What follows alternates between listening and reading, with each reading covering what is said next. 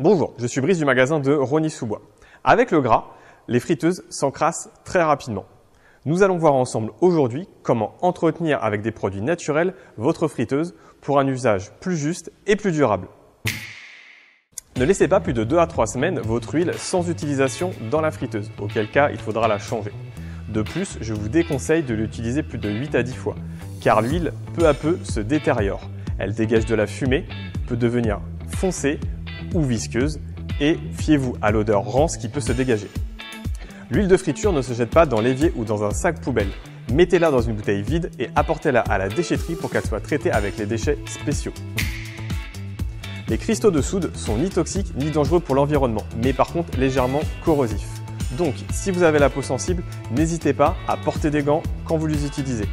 Ces petits cristaux désinfectent, dégraissent et nettoient en profondeur. Première étape, remplissez le bac de votre friteuse avec de l'eau bouillante. Versez-y ensuite 100 g de cristaux de soude. Pas d'inquiétude, le produit réagit dans l'eau, c'est normal. Laissez agir et frottez la cuve avec une éponge non abrasive. Videz l'eau, rincez la cuve à l'eau claire et essuyez.